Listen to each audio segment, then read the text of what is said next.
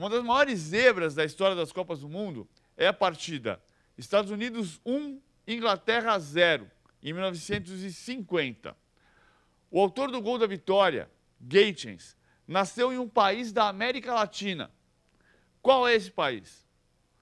Alternativa A, México. Alternativa B, Honduras. Alternativa C, Haiti. Alternativa D, Guatemala.